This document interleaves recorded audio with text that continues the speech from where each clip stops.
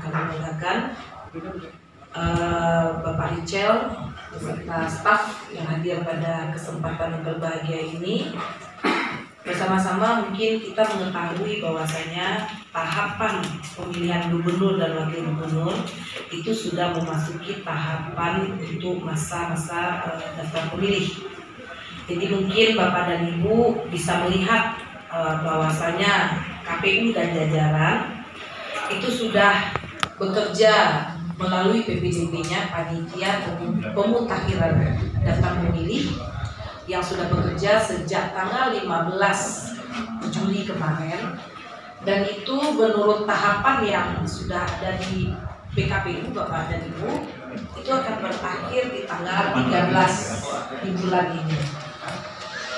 Walaupun begitu, hal ini juga beririsan dilakukan oleh KPU yaitu melalui verifikasi faktual.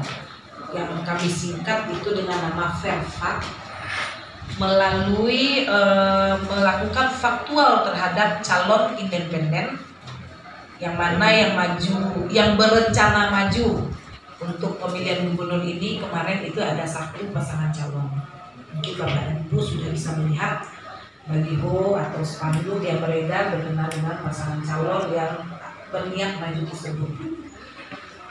Uh, sementara verifikasi faktual yang dilakukan oleh jajaran KPU itu sebagai panitia pengawas kalau dalam hari ini kami dan jajaran itu sudah melakukan pengawasan bentuknya melekat Melekat itu adalah betul-betul mendampingi secara faktual apa yang diverfakkan, apa yang difaktualkan oleh jajaran KPU dalam hal ini adalah PPS. Kalau verfak PPS ya Bapak dan Ibu me melihat apakah pasangan calon ini betul-betul didukung oleh masyarakat yang menyatakan dukungannya melalui surat pernyataan.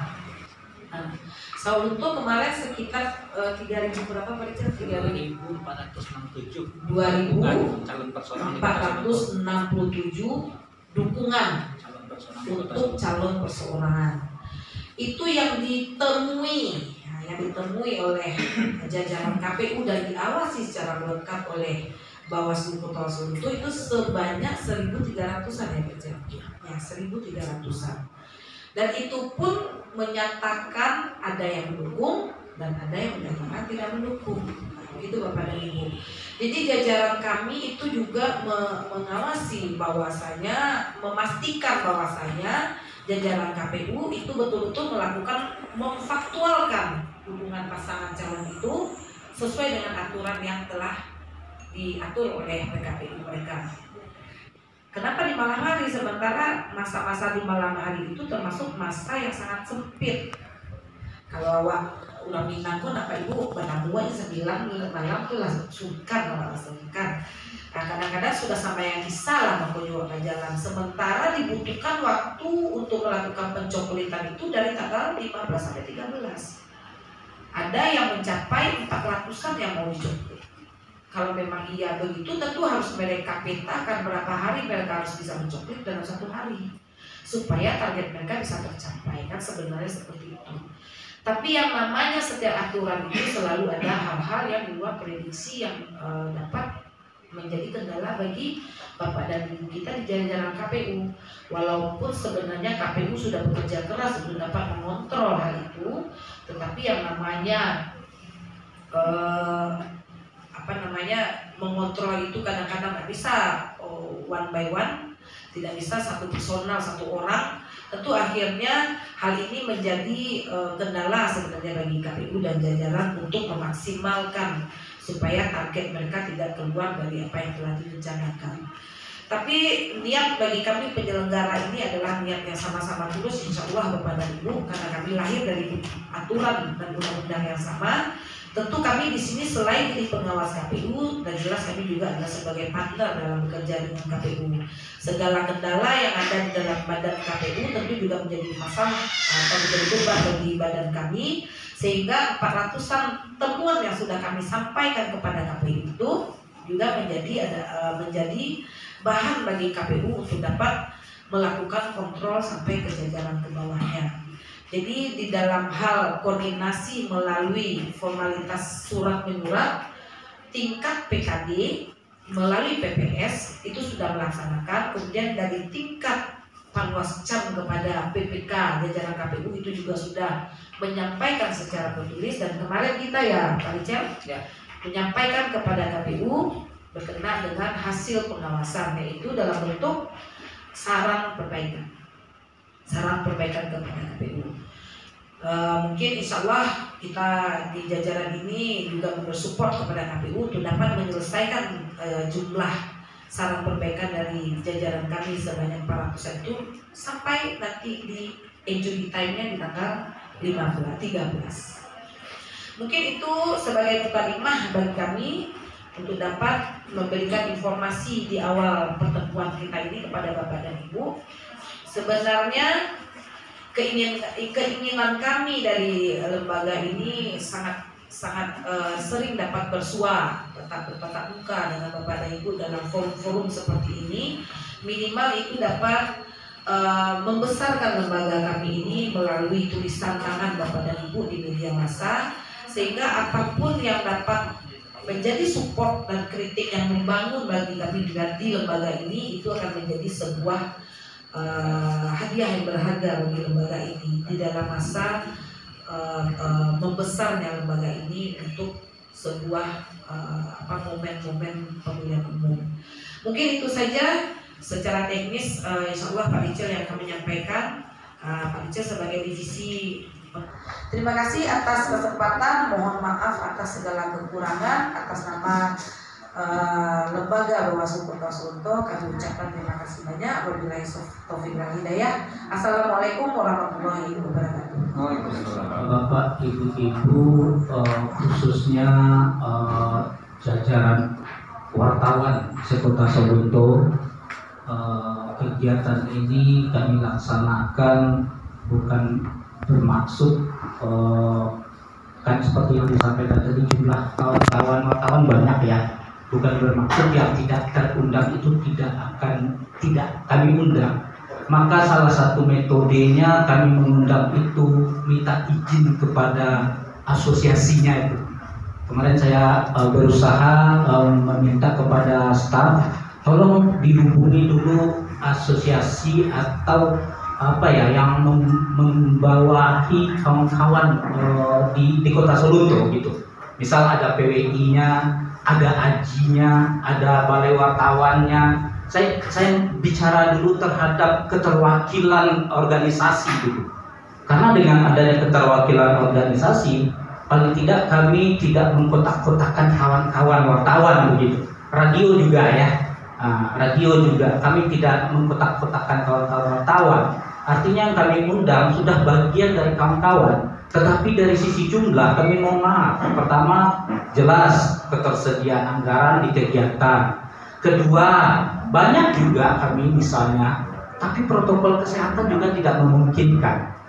Jadi dua hal itu pertimbangan kami, sehingga kami meminta betul dari uh, organisasi kawan-kawan jurnalis atau wartawan di Kota Solo adalah mewakili sehingga kawan yang tidak terundang paling tidak dia bukan ditinggalkan. Tetapi ini masalah hanya masalah jumlah tapi dari sisi organisasinya sekali lagi kami tidak uh, meninggalkan. Nah kami berharap seandainya ternyata masih ada organisasi wartawan yang ternyata menurut kawan-kawan pers ada lagi tolong beritahu ke kami. Supaya di kegiatan besok mungkin uh, organisasi tersebut perwakilannya bisa kita undang juga.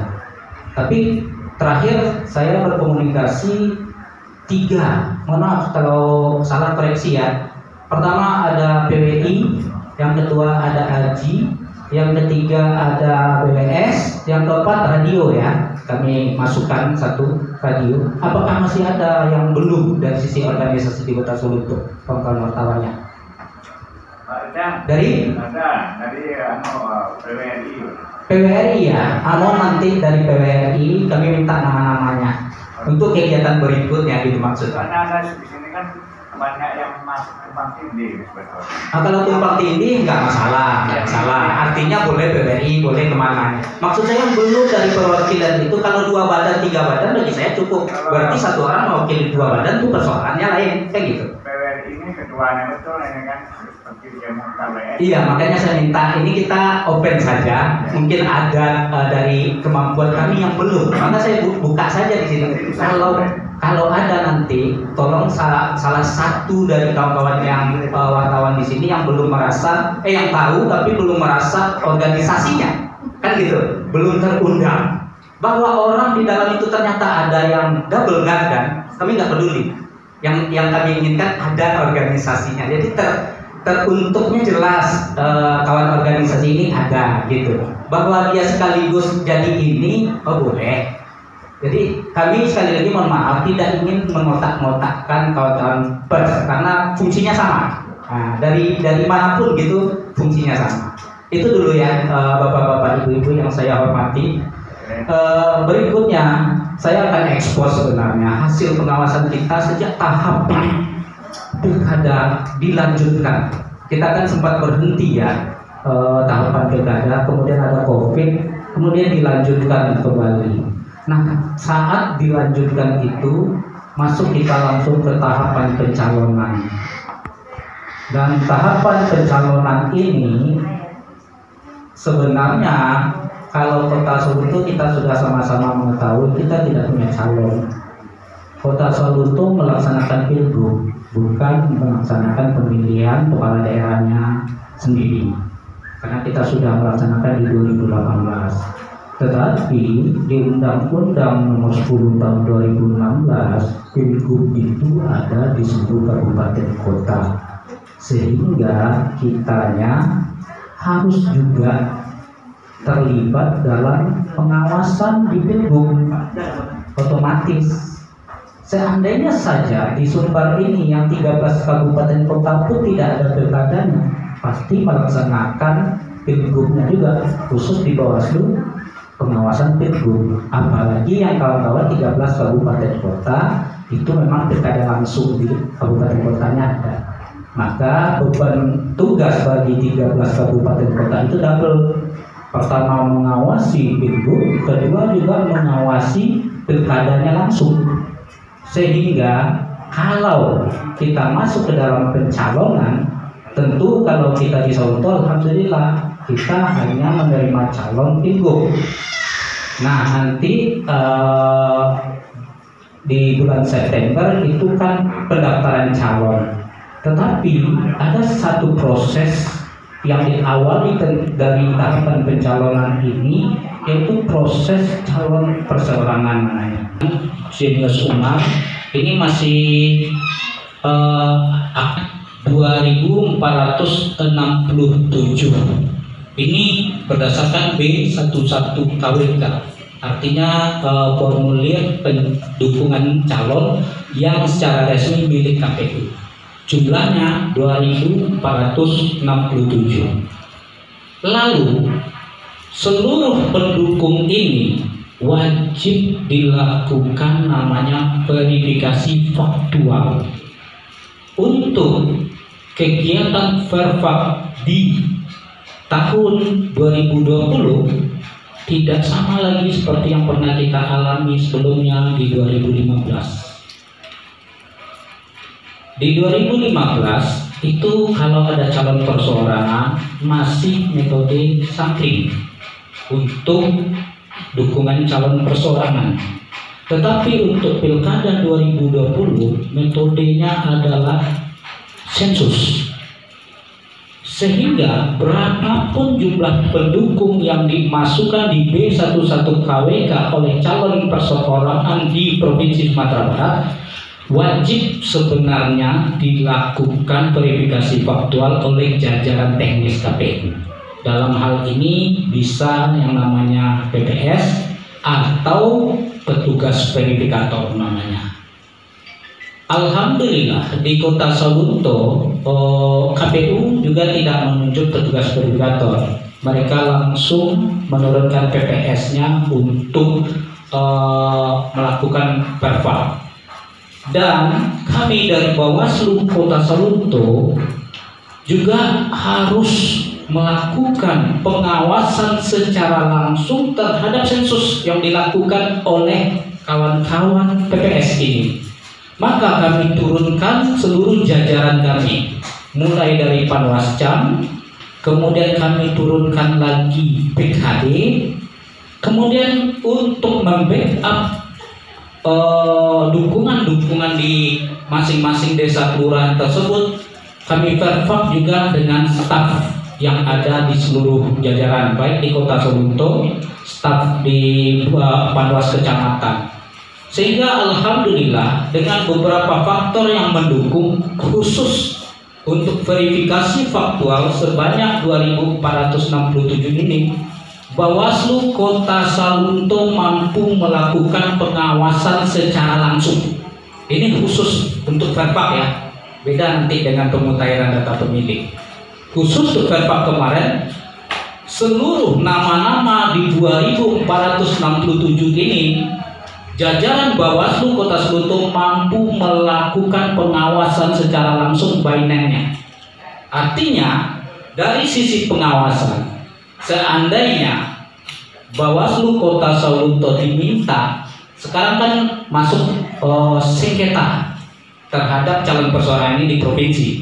Seandainya ada uh, gugatan dari pemohon tentang di Kota Solo itu uh, ada data yang harus uh, dijadikan sebagai alat bukti Insya Allah Bawaslu Kota Solo itu mempunyai data tersebut. KPU ini hasil kami, hasil pengawasan bisa berbeda dengan KPU, bisa karena ini kan hasil pengawasan kami. Karena nanti e, kalau KPU berbeda kan kami beri saran perbaikan, kan begitu. Sama juga dengan coklat ini nanti bisa berbeda dengan KPU, tapi hasilnya juga kami berikan saran perbaikan. Lalu apa nanti yang akan dilakukan KPU tentu kita kawal dari uh, saran perbedaan kita. Jadi di sini kita ketahui hasil pengawasan kami jumlah dukungan yang akan diperjualkan pada saat itu adalah 2467 dan kita sudah melakukan pengawasan verifikasi faktualnya sebanyak 2467 juga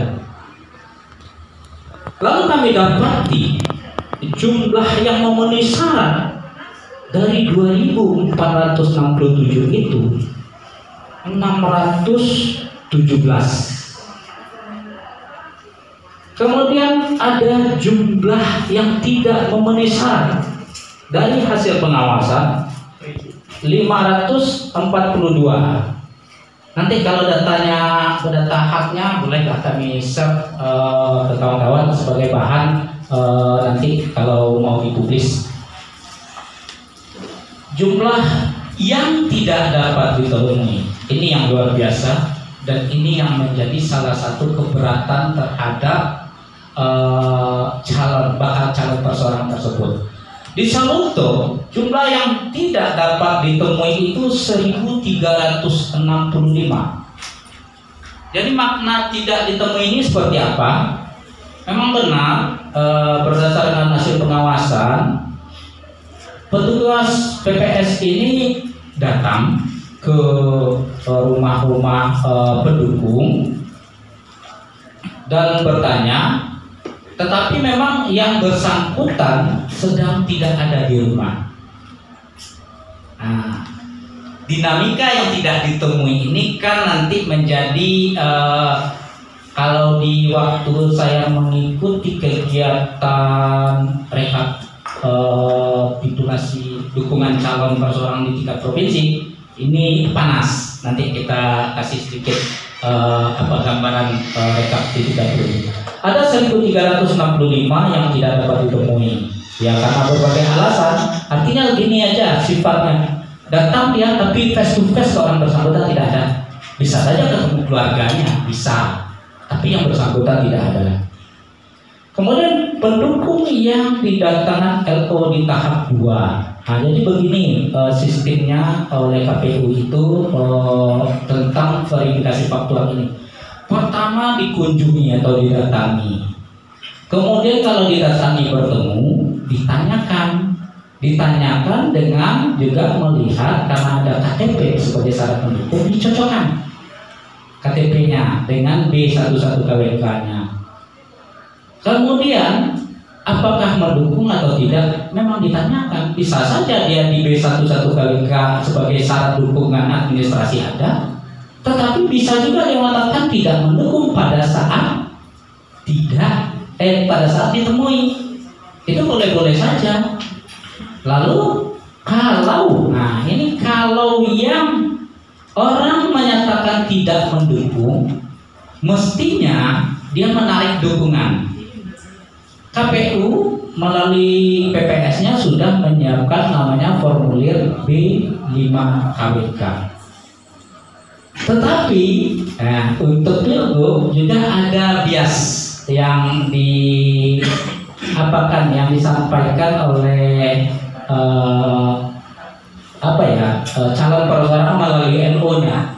Ternyata KPU Provinsi Sumatera Barat itu juga membuat formulir BA 5.1 formulir BA 5.1 ini ini menyatakan mendukung. Jadi sebenarnya ada BA 5 saja itu ada aturannya.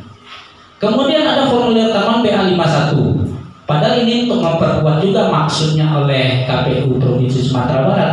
Kalau mendukung tanda tangan juga formulir satu tapi hal ini ternyata menjadi salah satu objek sengketa juga. Kenapanya nanti kita coba juga menyampaikan. Ini hasil dari pengawasan saja eh, dari apa yang kami dapatkan.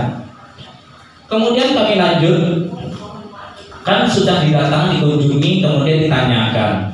Nah, bagaimana yang orang yang tidak dapat ditemui tersebut? Terhadap orang yang tidak dapat ditemui tersebut, kawan-kawan PPS itu menghubungi LO Kemudian kawan-kawan PPS meminta kepada LO untuk mendatangkan pendukungnya. Lalu pendukung yang didatangkan LO di tahap ini di tahap 2 ini update-nya sampai 3 Juli waktu itu LO sanggup mendatangkan 48 uh, pendukung. Kemudian ada juga setelah uh, yang didatangkan kemudian dari jumlah yang didatangkan ini boleh juga nanti pendukung ini diminta oleh KPU melalui DO kalau sudah lewat lagi setelah didatangkan dihadirkan. Setelah dihadirkan juga tidak hadir boleh dia disuruh datang lagi ke PPS di masa-masa uh, proses verfak tersebut. Yang sampai sampai tanggal 10 Juli tersebut Nah ini jumlahnya yang datang ke PPS tiga orang. Kemudian ada di update lagi datang lagi jumlah yang eh, PPS enam orang. Kemudian terakhir jumlah yang tidak dapat ditemui karena ini kan sudah ada nih orang yang tidak ditemui total tadi. Kemudian ada yang didatangkan, ada yang datang. Itu menjadikan orang tersebut akhirnya dapat ditemui. Sehingga jumlah yang datang eh, yang tidak dapat ditemui itu menjadi 1308. Update terakhir jumlah yang tidak dapat ditemui itu menjadi 1304. Artinya apa? Artinya proses-proses di dalam perfak tersebut berdasarkan hasil pengawasan kami inilah datanya. Ada orang ada pendukung B1 1 KWK 2467. Kemudian dikunjungi dulu. Dikunjungi ditanyakan. Kalau bertemu ditanyakan. Kalau tidak bertemu disuruh dihadirkan dokumentasi foto. Seandainya kami diminta 1304 nama yang tidak ditemui, apakah betul sudah pertama jawab pertanyaannya pasti sudah ditemui atau belum? Kalau hasil pengawasan mungkin kami jawab sudah. Apa buktinya? Dokumentasikan. Itu untuk support mungkin dari sisi alat bukti dalam sengketa. Urusan alat bukti dari kawan-kawan KPU tentu mereka yang menyiapkan. Karena Bawaslu di sini kan jadi apa juga e, majelis yang harus melihat juga hasil pengawasannya kan begitu supaya objektif. Jangan nanti uh, orang mengatakan tidak ditemui, kita mengatakan juga tidak ditemui, tapi orang mempunyai bukti, KPU mempunyai bukti tidak ditemui, pengawas tidak. Ini kan menjadi dua persoalan baru.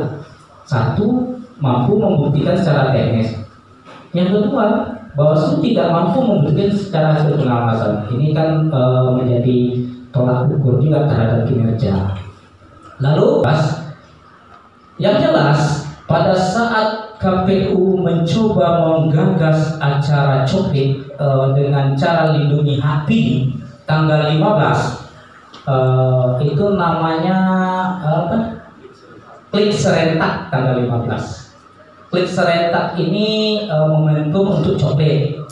Tetapi pada saat tanggal 15 kami juga di seluruh jajaran Bawaslu melakukan klik serentak ternyata uh, pada saat itu uh, server lindungi hak pilih itu apa ya down ya. Nggak bisa.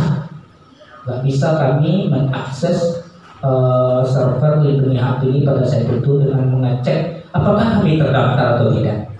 Jajaran kami sampai ke bawah pun kami minta tolong anda masuk ke dalam uh, situs KPU RI lindungi hak pilihmu Lalu cari data kamu sendiri. Ini kejadian kami ya. E, dicoba tanggal 15 itu dari jam 10 sampai jam 3 ya.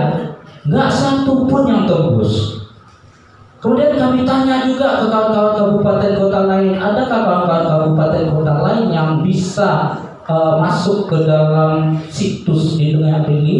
Ini yang tanggal 15 ya, Bapak-bapak Ibu-ibu. Kalau hari ini Bapak-bapak Ibu-ibu buka bisa tapi ini kan program, program nasional dibuat klik sereta. Kami harus awasi.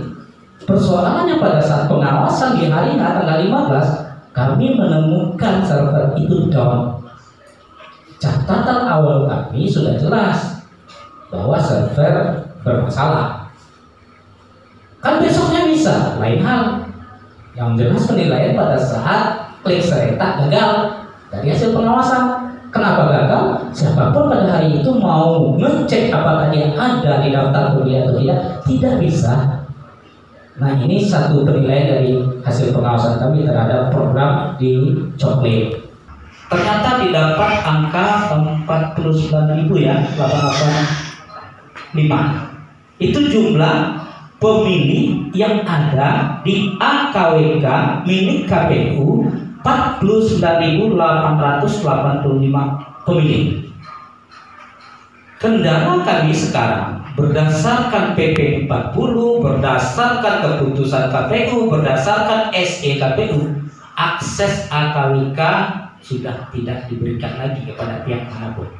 Lain ini sama zaman uh, Pak In, dulu beliau masih kasih kami AKWK, sekarang tidak. Di seluruhnya bukan uh, apa ya bukan di kota Solo saja. Ini sudah keputusan KPU RI maka kawan-kawan KPU kabupaten kota mengikuti saja. Meskipun secara personal hubungan kami dengan kawan-kawan KPU cukup baik tetapi karena ada penegasan itu dengan cara apa pun kami sudah buat surat juga meminta AKWK by name by address tanpa nomor kakak atau nomor KTP-nya pokoknya by name by address saja kasih tetap kawan-kawan KPU sekarang tidak dapat memberikan karena mereka merasa sudah ada aturan yang lebih uh, kuat dan ketat. Dan kami dari Bawaslu juga menanyakan ini ke pimpinan ke atas dan arahan dari pimpinan kami memang mengatakan sudah lupakan AKWK sebagai basic pengawasan yang jadi persoalan bagaimana kami mengawas 49.885? Kan begitu sebenarnya pertanyaan kami. Ternyata kita nggak kehilangan akal. Ada yang namanya strategi pengawasan. Kita buat tiga metode. Saya membuat tiga metode strategi pengawasan.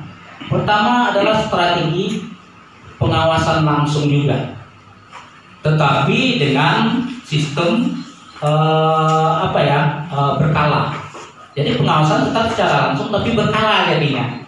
Contohnya seperti apa Bapak-bapak Ibu-ibu? Di Pilgub KPU untuk sementara sudah menetapkan TPS 162 ya. Ya. Ya kan? Di luar lapas. Lapas ada dua. Yang jelas 162 oh, TPS secara eh, untuk masyarakat dulu. Pemetanya ada 162 TPS. Eh 146 ya.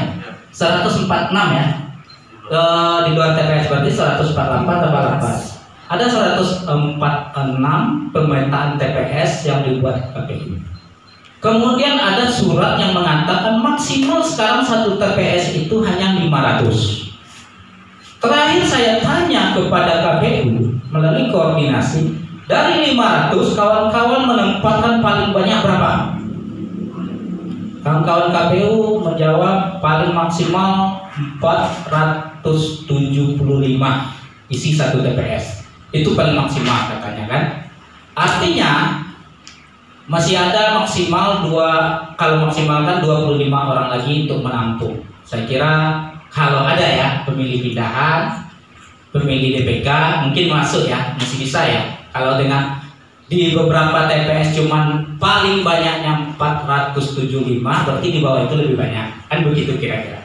Kalau begitu saya kira saya sampaikan kepada kawan-kawan KPU cukup ideal isinya. Karena untuk menampung nanti pemilih pindah pemilih khusus kan begitu. Kalau dibuat 500 diba- dimasukkan semua kami komplain akan menambah satu saja jumlah orang pindah memilih TPS-nya menjadi eh, apa kelebihan eh, apa isi dari eh, yang syarat ditentukan. Maka kawan-kawan tetapkan 475 ideal kata saya tidak persoalan tinggal menampung pada hari H siapa yang mau pindah memilih. Itu dulu yang kami sampaikan ke KPU. Lalu lanjut, kemudian dengan 146 TPS ini apa yang bisa kami lakukan dari hasil pengawasan? Pertama tadi saya sampaikan kami beserta jajaran melakukan strategi pengawasan langsung berkala namanya. Metodenya seperti apa? Setiap PPDB kami, misalnya kayak di Silungkang tadi, eh, di Monokabar tadi, kan ada 11 TPS. Kami wajibkan kepada jajaran kami mau baik dari Panwas Cam beserta kesekretariatan dan PKD Panwas Desa Kelurahan itu melakukan tiap hari pengawasan langsung tapi melompat. Begitu. Meskipun secara jumlah karena tidak ada AKWK kami tidak dapat lagi memastikan by name. Tapi dari hasil pengawasan langsung berkala kami bisa menemukan beberapa hasil temuan audit coklat namanya. Nah ini yang sedikit akan kami ekspos lah ke kawan-kawan hasil temuan audit coklat jajaran Bawaslu Kota Solo. Apa sih uh, lika-liku dinamika yang terjadi di waktu coklat ini? Dari hasil pengawasan, ya. Jadi sekali lagi kami tegaskan ini baru hasil pengawasan dan hasil pengawasan ini uh, dengan sifat audit. Nah, kan begitu. Jadi ada kasus-kasus yang kami temukan seperti ini. Ada di AA 2 KWK ditulis menggunakan pena biasa. Tulisan dengan pena biasa saja bisa kami jadikan temuan. Karena apa? Karena dengan pena biasa, pertama tulisan ini gampang dihapus. Yang kedua, KPU kepada PPKD sudah memberikan pena untuk menulis di AA2 KWK. Jadi jelas di sana ada prosedur dari PPDB yang tidak jalan. Pena ada. Pena khusus menulis di AA2 KWK. Tapi tetap memakai pena biasa kayak kita ini aja. Artinya, bagi kami itu persoalan. Bukan mencari-cari masalah, tapi tidak prosedural. Karena iseng aja kita gini kan udah belepotan kan gitu. Sementara pena uh, khusus itu diginikan dia tidak. Tulisannya tetap. Nah itu kami kawal. Ada sebanyak cuma dengan pena biasa saja 207 kasus kita temukan. Yang kedua, ada AA 2 KWK tidak lengkap. Ini jumlahnya ada kasus 72. Jadi saya mau sampaikan. Tidak lengkap ini seperti apa? Di AA 2 KWK itu ada yang tidak ditandatangani pemilik, ada yang tidak ditandatangani PPDP, ada yang tidak dituliskan TPS-nya, ada yang tidak dituliskan jumlah keluarganya, ada yang tidak dituliskan nama pemiliknya. Lah, ditempel itu kan orang yang jelas-jelas untuk jadi pemilik. Kenapa elemen-elemennya tidak lengkap? Itu juga terjadi uh, kesalahan administrasi dan prosedur oleh kami. Lalu apa lagi yang kami temukan? Ada yang sudah benar, menempel stiker AA2 kali kan tapi tempelannya ini di tempat yang gampang lepas dan hilang. Ini juga kasus bagi kami atau temuan oleh kami. Kenapa? Karena itu menggambarkan apa yang ditempel itu di sana ada pemilih. Nah sekarang kalau hilang. Atau lepas lalu dibiarkan.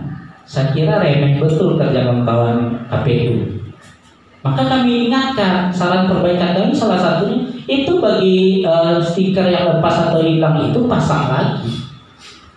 Kenapa? Karena kita ingin mengetahui sudah seberapa banyak Anda melakukan copet termasuk itu buktinya. Kan begitu? Nah. Kemudian ya sama kata kedua ini jumlahnya 49 lepas dan hilang dan yang lepas saja nah, ada lepas kemudian hilang. Jadi contoh begini di rumah kita ada tempel, lalu lepas. Ditanya, mana bu? Hasil pemasangan. Nah, lo nampak ada kami lain. Kan begitu. Ini lepas dan hilang. Yang lepas tadi ditempel, jatuh, lalu mana bu? Itu diambil. Kan begitu. Nah, itu yang lepas. Bedanya tetap. Kami jadikan itu juga sebuah kasus. Temuan. Lepas hilang ada 49 kasus, yang lepas saja ada 26. Kemudian ada lagi tanpa dilakukan pencocokan data AKWK dengan KTP atau KK. Nah, ini gawat. Maksudnya gimana ini? Coklat itu kan pencocokan dan penelitian. Yang dicocokkan itu AKWK dengan KK dan KTP. Ini tanpa dicocokkan. Artinya walaupun petugas PPDP kenal baik dengan kita, kan begitu. Saudara Pak, uh, siapa pun tak aku yang pada pun tak aku jadain lo misalnya nah, bagi aja langsung tanpa melihat KTP dain kakak dain nah gitu loh benar secara uh, orangnya tapi tidak benar secara prosedural. Ini kami juga tidak uh, membiarkan. Ini kami berikan juga saran perbaikan. Kemudian ada satu rumah atau kakak beda TPS Sementara di aturannya TPS itu dibentuk berbasis AK. Dia tahu nggak nggak akan lengket, biar saya uh, pegang saja nanti di dalam saya tempel katanya. Nah kami uh,